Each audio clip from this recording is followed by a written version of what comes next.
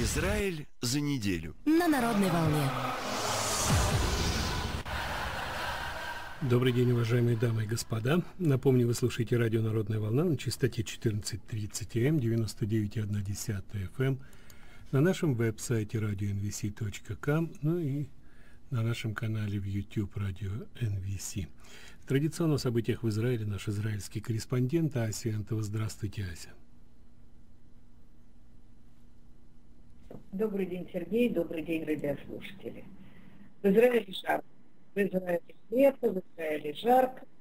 И э, в связи с этим, как у нас всегда, э, пожары. Причем пожары намерены не от случайной спички, а намерены пожары в газы, обнаружено много поджогов. И э, только сегодня выгорело 220 дунамов э, насаженного леса. Это, это очень печально. Ну, собственно, это не новость. Я о таких пожарах, к сожалению, в жаркое время года сообщаю каждый раз. Э, но с жарой связаны еще э, пара новостей. Э, во-первых, э, во-первых, школа. Школа, очередной скандал. Такие скандалы уже были и раньше.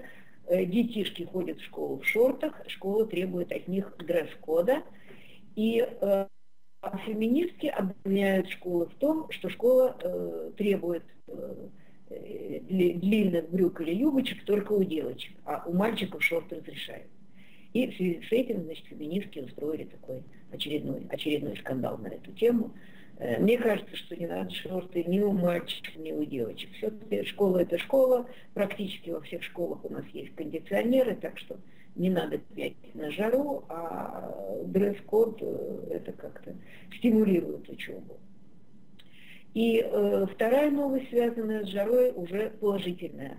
Э, наши ученые придумали э, такой шоколадный батончик, который на жаре не тает, но при этом остается очень вкусным и достаточно питательным. Он э, хорош и для туристов, которые, которые вот отправляются в какой-то поход, он достаточно калорийен, не э, выдерживает очень большую жару, не тает, как я уже говорила. И, э, ну, собственно, разрабатывали-то его не для туристов, а разрабатывали его технологи в э, нашей армии, в ЦААЛе, для того, чтобы у солдат э, был вот такой вот э, вкусный сухой паек, который нужно носить с собой. Ну, теперь это пригодится и для туристов, и просто для сластью. Э, жара, она у нас не только физическая, но и э, в политике, в общем, у нас э, жарко, происходят очень разные и очень важные события. Все уже вот совсем близко начнется экономическая конференция по сделке века, это план Трампа, ну, пока что э, Трампа в Израиле очень любят, как э, человека, который много сделал для Израиля, как э, перенес столицу в Иерусалим, очень поддерживает израильскую внешнюю политику. И даже у нас в Петахтикле э, будет теперь площадь имени Трампа, и 3 июля, вот э, очень скоро, ее, будет ее торжественное открытие. Но с другой стороны, вот эта вот сделка века – его план, он э, все еще вызывает различные опасения. Ну, пока что известна только его экономическая часть, потому что завтра в Бахрейне откроется экономический, двухдневный экономический форум, на котором будут присутствовать арабские страны, и там будет э, обсуждаться экономическая часть плана Трампа. Туда э, израильские политики туда не полетят, туда полетят представители э, деловых кругов, бизнеса, Э, директор, э, директор э, большой больницы Шиба израильской, полетит туда бывший пресс-секретарь ЦААЛа на арабском языке, то есть человек, который как-то знаком с проблемами у, у арабов в Израиле. Но представители правительства израильского в Бахрейне не полетят, но зато полетят журналисты уже, уже это достаточно беспрецедентно, потому что с Бахрейном у Израиля дипломатических отношений нет, и до этого, в общем, так свободно туда э, наши журналисты не летали. Э, что, э, что, что проясняется про, по крайней мере, экономическую часть плана Трампа? Говорится, все время приводится цифра в 50 миллиардов, из которых 28 достанутся палестинской автономии и Газе, то есть арабам, проживающим в палестинской автономии в Газе, 7, 7 миллиардов Иордании, 9 миллиардов Египту и 6 миллиардов Ливану. Говорится о том, что эти деньги должны быть направлены на борьбу с безработицей, повышение уровня жизни, уровня занятости, инфраструктуру, транспорт, общее экономическое развитие. Говорится, что деньги не будут даваться просто так, потому что тут э, уже печальный опыт накоплен э, долгое время. А что будет именно под какие-то конкретные проекты, что есть 179 конкретных проектов, как, как и где и что развивать. И вот на них, э, собственно, Международный фонд и будет выделять эти деньги, проверяя, что они идут именно на экономические проекты, но, скажу уже от себя, э, до того, э, сколько не давались деньги, всегда э, арабы находили способ часть этих денег пустить не на определенный проект, а если не на коррупцию, то на поддержку террора, что, в общем, еще хуже. Как здесь будет Международный фонд проверять, что деньги идут действительно туда, куда надо, пока это остается загадкой. Э, кроме того, э, утверждается, что будут еще дополнительно выделения деньги для того, чтобы наладить связь между палестинской автономией и Газой. Ну, я вам просто напомню, что Газа находится на побережье Средиземного моря, а э, Иуде, Иудея и Самария, они, э, так сказать, находятся на горах в центре страны и э, спускаются в сторону Иордана. Вот. Конечно, расстояние не очень большое – но э, тем не менее, э, тем не менее, значит, если, если делать как-то так, чтобы нога араба не ступала на, не, на израильскую землю, то, в общем, тут надо проложить э, много километров каких-то мостов и туннелей, то есть это тоже очень затратное мероприятие, а главное тоже не очень понятно почему. Потому что палестинская автономия как огня боится – того, что туда попадут люди из Газа, люди, принадлежащие Хамасу, которые э, очень враждебны, э, очень враждебны э, лидерам Фатха. И наоборот, люди из, арабы из Иудеи и Самарии, они совершенно не стремятся в Газу. В Газе гораздо ниже уровень жизни, гораздо меньше возможности выезжать за границу, в ту же Иорданию или в Египет или еще куда-нибудь. И они туда совершенно не стремятся, потому что, опять же, там враждебное окружение. Значит, э, будет этот мост, не будет, зачем он будет, э, тоже пока не очень понятно, но, по крайней мере, он вот встроен в план. Э, значит, вот пока что в Израиле пока что очень пессимистично относятся к, к этому плану. Ну, арабы палестинской автономии уже давно заявили, что э, они за деньги не продаются, что план, э, так сказать, не, не включает в себя строительство палестинского государства, поэтому они его сразу отвергают. Но э, не только израильские арабы, но и э, э, Ливан заявил, что Ливан, который, напомню, получает 6 миллионов, э, он заявил, что деньги-то он готов, конечно, принять, но принять при этом э, так называемых палестинских беженцев он совершенно не готов, и э, они ему абсолютно не нужны. Значит, э, дадут ему на таких условиях деньги, не дадут, тоже, тоже очень интересный вопрос.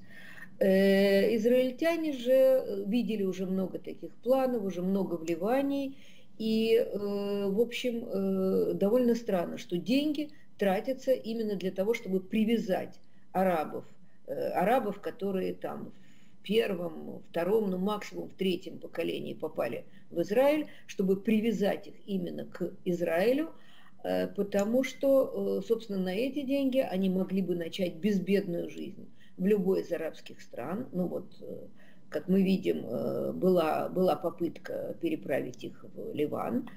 Э, или э, даже в западной стране, знаете, когда отстегиваются такие миллиарды, то, в общем, на семью получается довольно много, и даже э, перебравшись в западную страну, для арабской семьи это было бы вполне нормальный старт на открытие какого-то своего маленького бизнеса,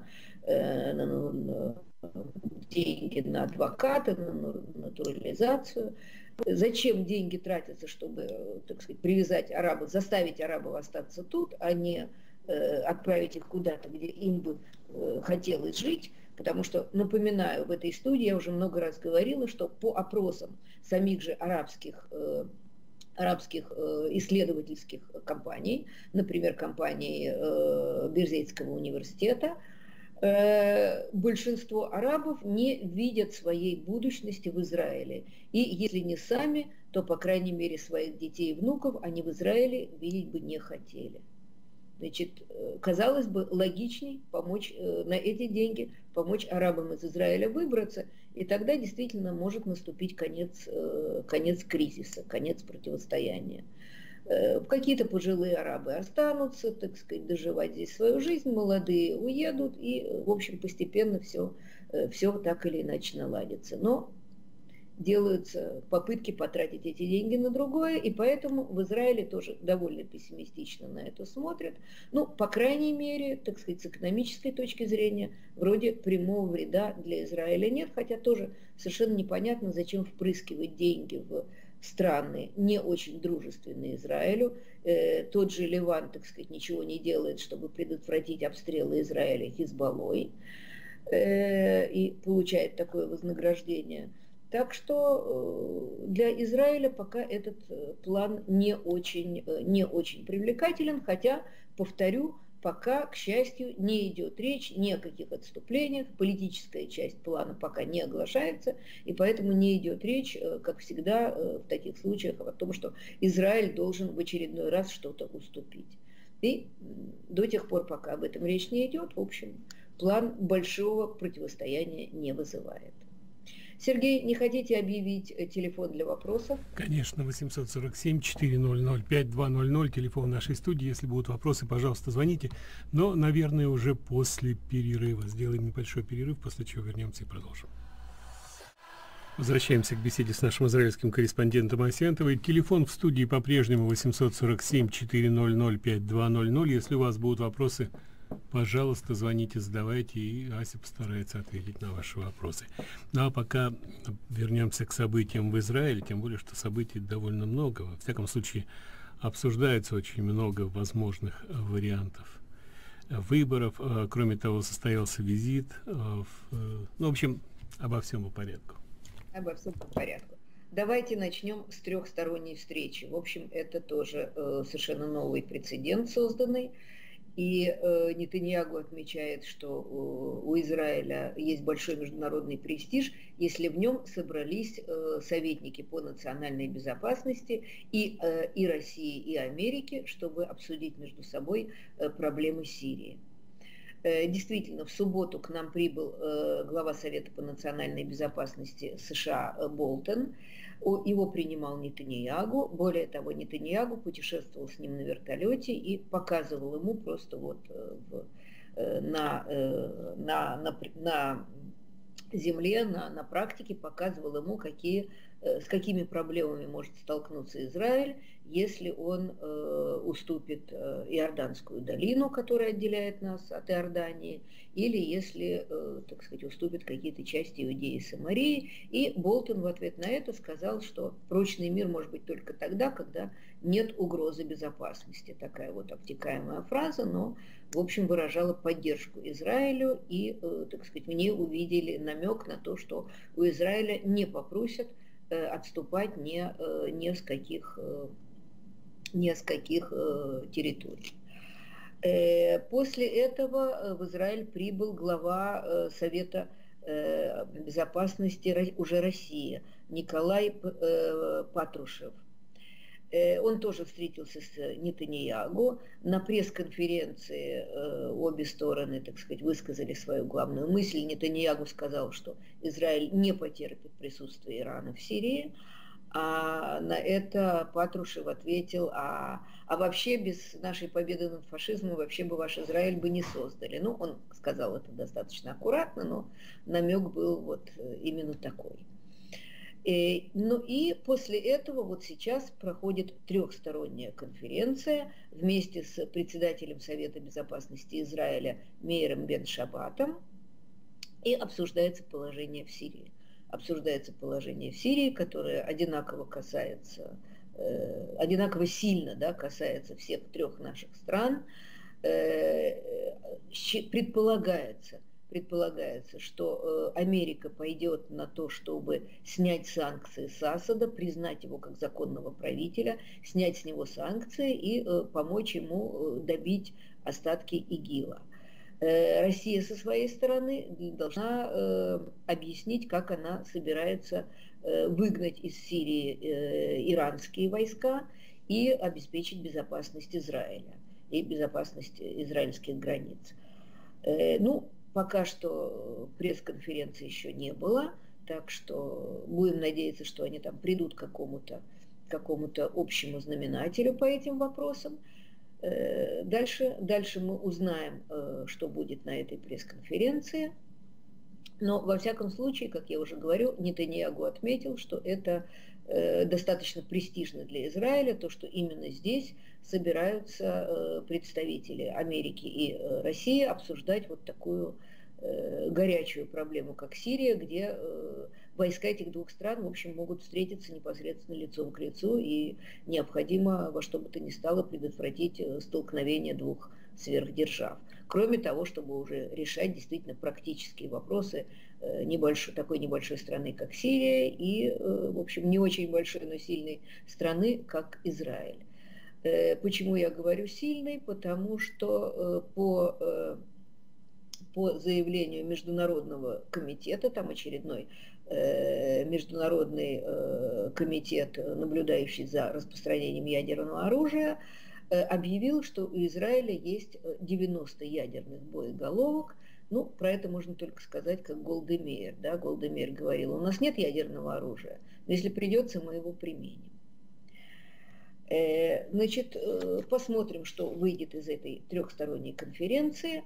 А у Нетаньягу и кроме приема высоких иностранных гостей есть и э, гораздо более важные дела, э, как политические, так и, э, к сожалению, уголовные. По поводу выборов. Политические – это выборы. Выборы, которые, напоминаю, назначены на 17 сентября.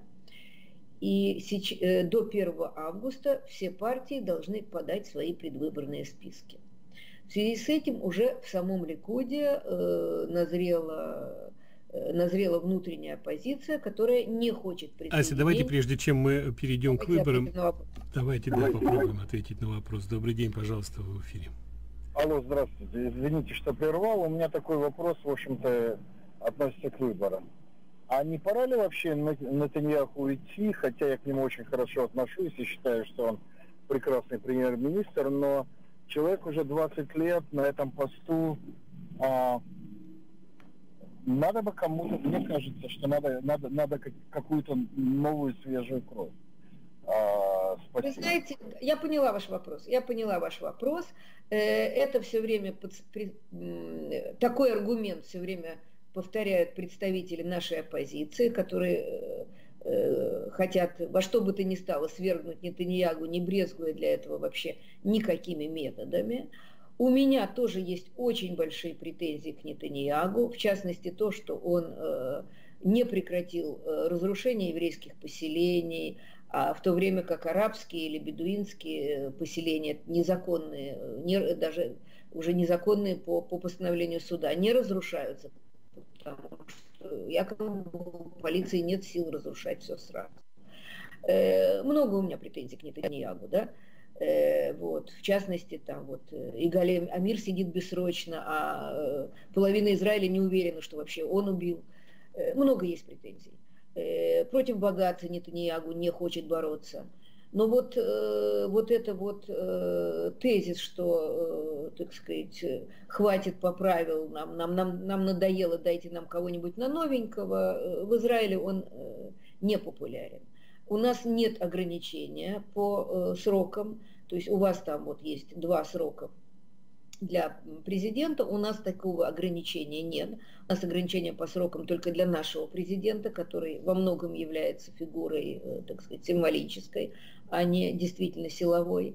Для премьер-министра ограничений у нас нету. И более того, э, на сегодняшний день я пока не вижу, кто мог бы Нетаньягу заменить. Понятно, что никакой замены слева э, категорически большинство Израиля не хочет. Не зря большинство проголосовало за правый лагерь, э, ну, включая Либермана, которого раньше считали правым, а теперь выяснилось, что он как раз готов идти э, с левыми. И, ну, и плюс к тому, что не прош...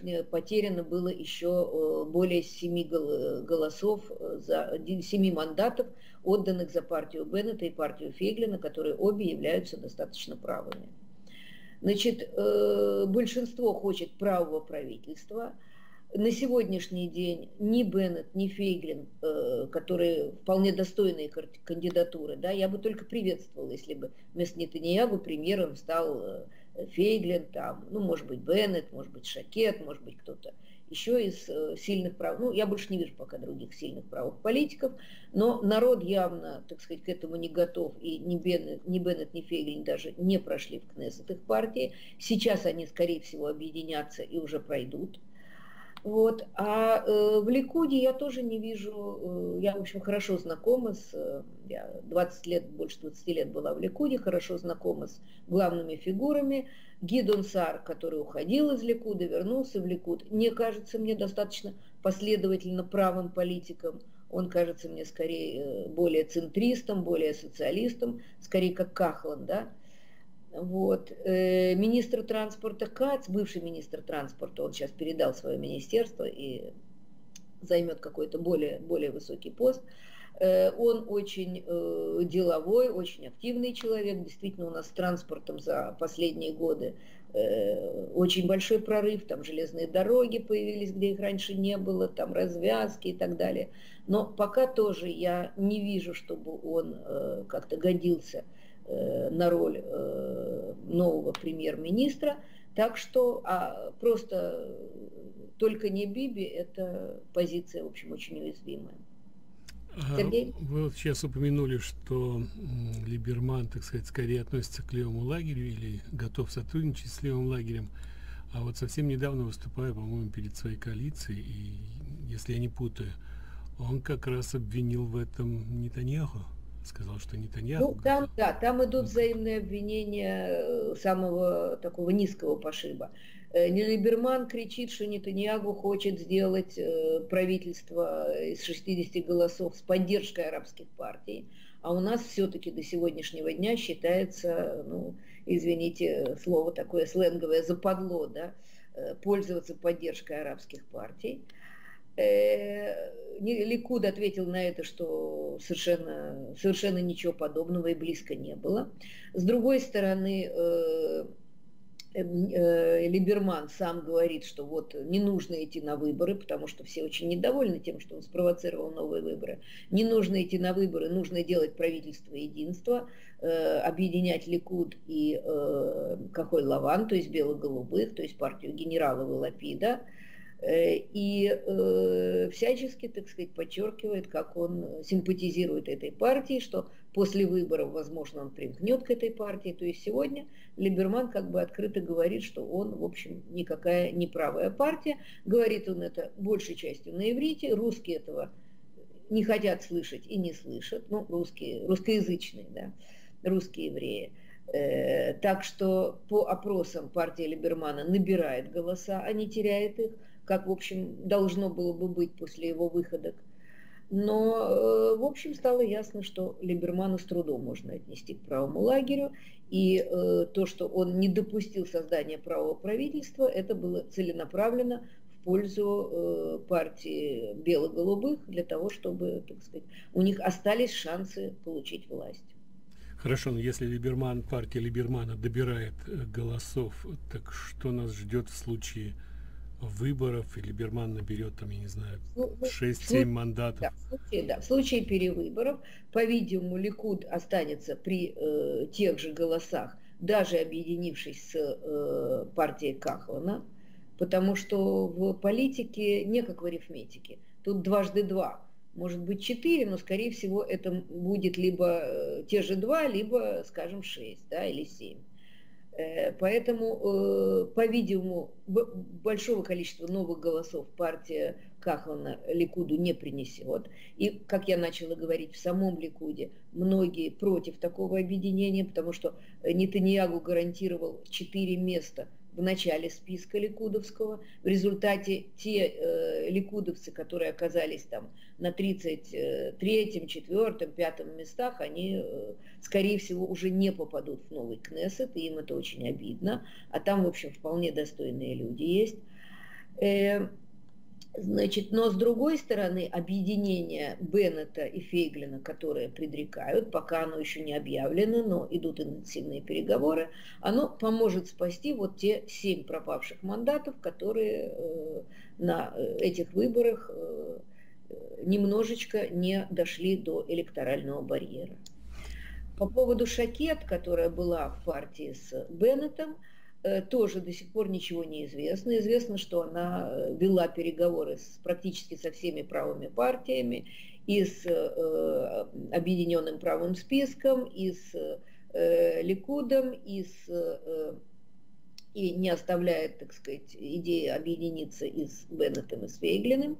Все опции пока открыты. В Ликуде, э, по-видимому, Нетаньягу не захотел дать ей какое-то престижное место – в объединенном э, правом списке э, ни Смотрич, ни Перес, то есть главы двух фракций этого списка, не захотели поставить ее на первое место, хотя второе место были готовы ей предложить, судя, судя по тому, что по тем утечкам, которые э, приходят из этих переговоров. Ну и э, Беннет все время повторяет, что он готов принять Шакед обратно в свою партию и будет ей рад. Так что пока что э, непонятно, с кем э, с кем она пойдет. Если будет объединение всех правых партий, о котором долго говорят, но которое вряд ли произойдет, но все время все повторяют, включая сами правые партии, что хорошо бы всем правым объединиться и э, объединенному правому списку, да, и, и э, Беннету с Шакед, и Фейглину. Значит, если произойдет это объединение, ну, понятно, Шакет туда тоже войдет. Давайте попробуем принять звонок. Добрый день, пожалуйста, в эфире. А, здравствуйте. Ася, вы знаете, мне кажется, что Либерман набирает э, голоса не за счет э, правых э, сил, а за счет левых. Поэтому он и растет. Но получится, что тогда левый лагерь э, уменьшит свои голоса и, и не будет того равенства, почти, ну, почти равенства с, с Натаньяху. Так что в этом может быть даже как бы положительная сторона. Да. Да. А вот э, у меня вопрос, вы сказали, что этот, э, я забыла, э, представитель России заявил, что без э, победы э, их победы не было бы Израиля. А, а он не, не вспомнил, что если бы не было сотрудничества Сталина с Гитлером, так не погибло бы 6 миллионов евреев. Этого он не вспомнил. Э, и э, потом не вспомнил он, что если бы не было э, действий КГБ, в частности Примакова, так не было Нет, бы этого враждебного состояния между арабами и евреями. И, это это и, одно. Ну, я так понимаю, это риторические вопросы. Ну да, да, да это... Спасибо. Ну, я так понимаю, спасибо. Все, спасибо. К сожалению, времени просто не остается, поэтому давайте мы сделаем перерыв, а после перерыва вернемся и обязательно продолжим. Возвращаемся в программу нашего израильского корреспондента Асиентова. Телефон в студии по-прежнему 847-400-5200. И давайте, наверное, примем звонки в порядке поступления. Добрый день, пожалуйста, в эфире.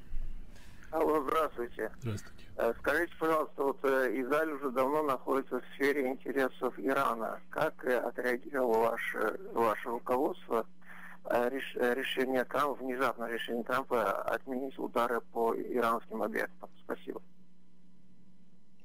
Ну, э, Нетаньягу последовательно каждый раз на встрече с представителями Америки или на любых международных встречах подчеркивает, что э, иранская э, ядерная программа э, развивается, что совершенно необходимы санкции или серьезные какие-то изменения. И, в общем, он постоянно, постоянно об этом твердит и надеется на то, что Америка как-то приложит для этого тоже достаточные усилия. Э, иногда Трамп ужесточает свою позицию по отношению к Ирану, иногда смягчает. Э, ну, будем надеяться, что опять ужесточит. И следующий звонок. Добрый день, пожалуйста, в эфире. Здравствуйте. Ася, скажите, пожалуйста, вот если а, сейчас а, ваша партия, партия Беннета войдут в, в Кнессет, ну, ну, как говорится, будут избраны. За счет, э, за счет кого э, вы получите голоса? Вот э, э, Натаньяху получит те же 61, допустим, голос. Вы, вы получите за счет левого лагеря или за счет, за счет чего это получается? Э, значит, смотрите, если партия не проходит, то есть набирает там меньше 4%, то ее голоса равномерно распределяются между другими партиями, которые прошли.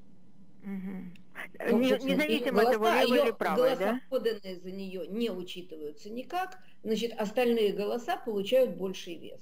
То есть понятно, что от того, что не прошли э, Фейглин и Беннет, выиграл в первую очередь Ликут, как большая партия, значит, э, в принципе, Беннет э, сосредоточен был строго на правых голосах.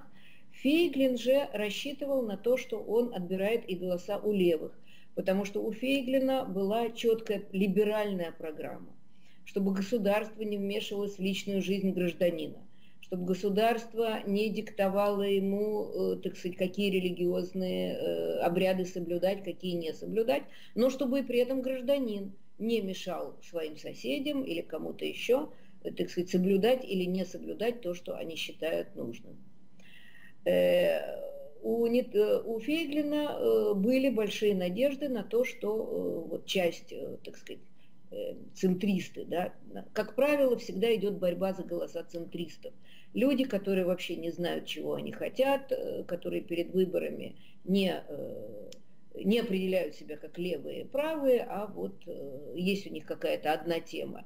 Тема э, дорогого жилья, например, и у Фейглина была четкая программа, как удешевить жилье. Или тема э, плохого образования школьного, и у Фейглина была программа на эту тему. То есть Фейглин много говорил о вещах, которые не левые, не правые, а действительно актуальны для сегодняшнего Израиля, и надеюсь, что получил часть голосов центристов. Если Фейглин объединится с Беннетом, возможно, э, каких-то центристов Фейглин потеряет, но зато получит гарантированный проход в Кнессет. Спасибо большое. Спасибо. Добрый день, пожалуйста, в эфире. А, добрый день. Ася, я хотела спросить вопрос. У нас друзья в Израиле, которые голосовали за Ликуд, сказали, теперь не будет из-за Натаньяху голосовать за Ликуд. И один из вопросов по поводу Беннета, который я их задала, они сказали, что Беннет а, пропагандирует э, марихуану, легализацию, и из-за этого они никогда за него не будут голосовать. Что вы можете по этому поводу сказать? Значит, пропагандировали э, распространение лечебной марихуаны все партии. Начал про это говорить Фейглин, у которого в доме э, три, ну, уже два инвалида, его жена и его сын, и э, его покойный отец тоже был вынужден э, принимать какое-то более утоляющее и э, выписывал лечебную марихуану. То есть первым об этом начал говорить Фейглин. Но поскольку эта тема оказалась очень э, признанной, так сказать, ее многие подхватили, потому что так или иначе выяснилось, что хоть марихуана и запрещена, но очень многие нарушают этот запрет, особенно молодежь. И, э, в общем, уже в международной практике уже многие страны отменили запрет на, на марихуану, считая, что она менее вредна, чем, скажем, табак или алкоголь. И тема оказалась очень э, привлекательной, и ее подхватили все. Ее подхватил и Ликуд, ее подхватила и партия «Вода», и э, многие другие партии. Э, э, выступал ли за марихуану Беннет, я просто не помню просто не помню. Четко помню, что и э, Авода, и Ликуд, э, так сказать, решили, решили тоже взять тебе, себе эту престижную тему. Но опять же, подчеркну, речь идет о легализации э, лечебной марихуаны или, э, так сказать, хранения марихуаны в небольших дозах. То есть речь не идет о распространении, речь все время идет о том, что э, разрешить э, создание, э, ну, как-то выработку, да, выработку лечебной марихуаны, разрешить ее продажу за границу в качестве лечебного средства, потому что израильская марихуана считается очень чистой, очень хорошей. Э, государство, опять же, будет получать выгоду от этого. И, но э, речь не идет о том, что вот все как в Голландии, да, наркотики без границ. Об этом никто не говорит. Ну что ж, у нас остается буквально минута времени. Давайте в заключение Да. какое-то... Давайте про спорт, у меня никогда Да. не хватает времени. Были вторые европейские игры в Минске, проходили и до сих пор проходят. И э, Израиль там получил несколько золотых медалей. Во-первых, это наша э, бессменная э, гимнастка Леноя Шрам, которая получила там две золотых и одну серебряную медаль. В Ютьюбе можно видеть ее выступление, получить большое удовольствие, просто чудеса какие-то, да, там акробатам в цирке так не снилось, как она выступает. Кроме того, э, э, Сергей Рихтер, э, выходец из семьи Советского Союза, ну, молодой человек относительно, он служил в ЦААЛе в 2002 году и научился прекрасно стрелять. В результате по спортивной стрельбе получил тоже золотую медаль. Э, Вот такие у нас достижения, и все было бы хорошо, если бы не одно но. По недосмотру там на этой Олимпиаде выставляют карты стран, и вот израильская карта оказалась без э, Иудеи и Самарии. Ну, конечно, тут же э, соответствующие инстанции э, пожаловались и э, карту, карту восстановили так, как нужно. Будем надеяться, что это совсем не злой умысел, а просто, просто чей-то недосмотр. Ну и еще одна очень важная дата – это 18 июня, Альталена. Э, Напомню, в 1948 году корабль Альталена с грузом оружия, который достали ревизионисты, везла его в страну Израиля, чтобы передать большую часть этого оружия в армию ЦААЛь, а часть, небольшую часть этого оружия своим, э, так сказать, ревизионистским движением Эцелю, который сражался в Иерусалиме. Но, э, подойдя к берегу в Тель-Авиве, э, корабль наткнулся на артиллерийский огонь, которым командовал Ицхак Рабин, тогда э, офицер, и, э, так сказать, э, были, многие были убиты, стреляли даже по плывущим к берегу людям. Э, Бегин категорически запретил отвечать стрельбой на стрельбу, а как вы понимаете, там на, на корабле находилось почти тысячи человек, люди, спасшиеся из э, нацистской Европы, и огромное количество оружия, то есть э, захоти Бегин ответить, э, могла бы развязаться полноценная гражданская война. Бегин сказал, мы против гражданской войны. Значит, но в одностороннем порядке, к сожалению, э, 16 человек из э, Эцеля погибло, и только благодаря Бегину не была развязана э, полноценная война, но зато э, правительство Бен-Гуриона э, при помощи вот, э, такого насилия полностью на э, ближайшие 30 лет захватила в Израиле власть, а ревизионисты были полностью подавлены и смогли вернуться к власти только в 1977 году. День Спасибо. этот отмечается, э, так сказать, Нетаньягу и другие э, высокопоставленные политики были на кладбище, и э, в частности президент Ривлин предостерег, что сейчас тоже у нас идет пропаганда взаимной ненависти. Ну, я говорила, Либерман э, приз- разжигает ненависть к религиозным, э, вот, и э, Ася, спасибо огромное. Давайте что- да, в следующий раз мы об этом Давайте продолжим. Спасибо. закончим. В следующий раз, если кому-то интересно, на любые вопросы Да. об Альталене отвечу с удовольствием. Ну и в интернете. В Спасибо. интернете много информации.